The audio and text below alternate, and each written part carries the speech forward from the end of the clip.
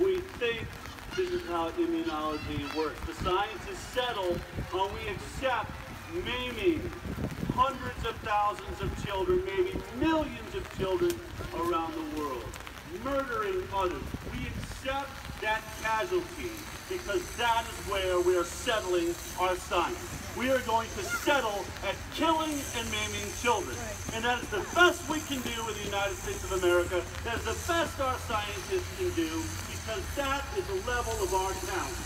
And I say, do better! This is the United States of America. We have the greatest minds and the greatest education and the greatest scientists in the world. Do better! We must not settle here. We must not defend a program that kills a single child because six people really matter to us in a war zone. Then every single child must matter in America. Yes.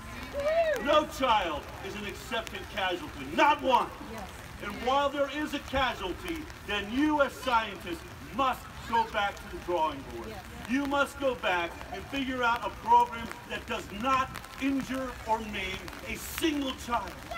Because you base your entire theory of herd immunity on protecting that one immunosuppressed child that hypothetically someday may get injured because an unvaccinated child had a disease.